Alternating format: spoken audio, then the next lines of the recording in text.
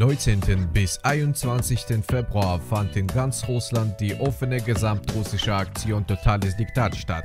Ziel der Aktion sind die Populisierung der deutschen Sprache und die Verbesserung der deutschen Schriftsprache. Die Aktion ist eines der Netzwerkprojekte der Selbstorganisation der Russlanddeutschen.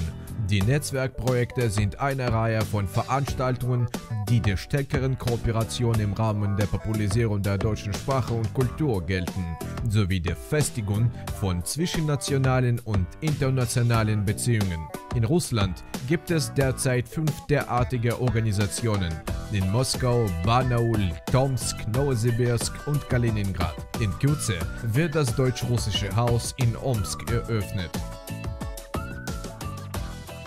Если говорить вообще о всех владеющих, изучающих немецкий язык, то это чуть меньше трех миллионов. Немецкий язык для российских немцев это даже, наверное, не лингвистическая категория, а психологическая. Историческое прошлое должно оставаться, но при этом идентифицировать себя в качестве российского немца можно, на мой взгляд, в ближайшее время только зная немецкий язык.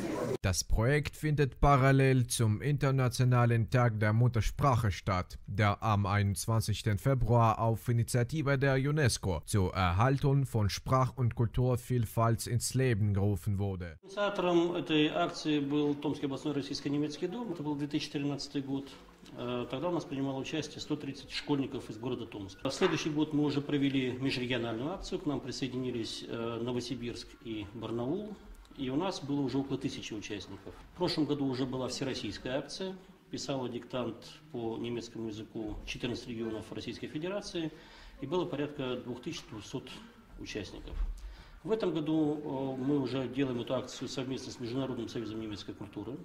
По Российской Федерации будут писать порядка 50 регионов. Кроме того, у нас э, будут писать диктант в Швейцарии, будут писать диктант в Казахстане. Таким образом, акция на сегодняшний день уже носит международный характер. Die Aktion Totales Diktat auf Deutsch nahm ihren Anfang bereits in den frühen 2000er Jahren im Studentenclub der Fakultät der Humanwissenschaften der Novosibirsker Humanwissenschaftsuniversität Glum Club. Schon das vierte Jahr in Folge findet die Aktion auf Initiative des DRH Tomsk statt.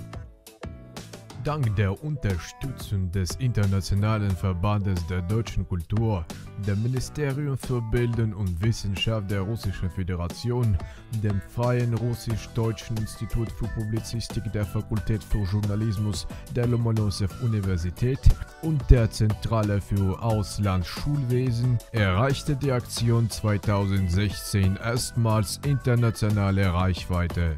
Totales Diktat, das klingt sehr gewaltig. Die deutsche Sprache ist wichtig in den Beziehungen zwischen Russland und Deutschland. Es ist wichtig, dass man Deutsch kann, weil äh, viele inzwischen zwischen den beiden Ländern pendeln. Es gibt noch viele Russlanddeutsche in Russland, die nicht Deutsch können, was ich schade finde.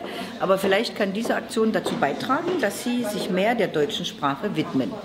Ich meinerseits versuche auch mit Veranstaltungen und Radiosendungen die Leute zu animieren, Deutsch zu lernen und gebe sogar hin und wieder Deutschkurse.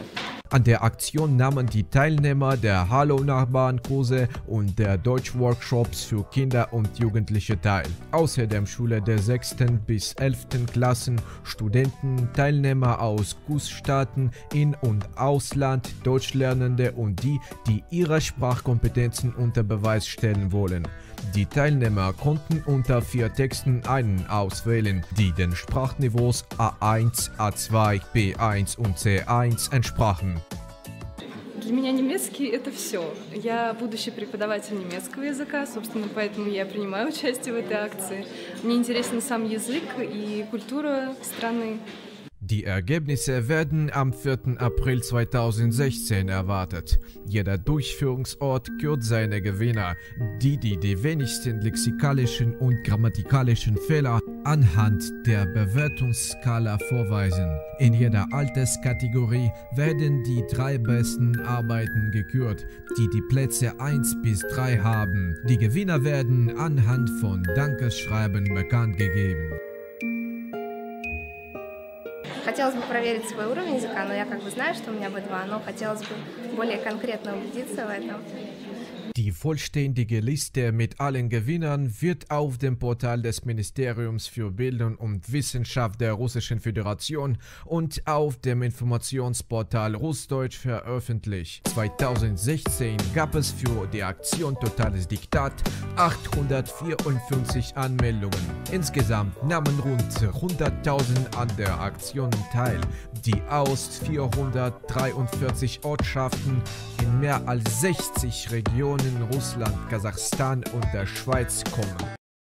Das ist eine äh, sehr gute Idee. Das äh, wäre sehr gut für die deutsch-russische Beziehungen, für die Entwicklung äh, und für die Vertiefung. Ich wünsche Ihres Haus und Ihres äh, Verband viel Erfolg und alles, alles Gute. Totales Diktat 2016. Total richtig.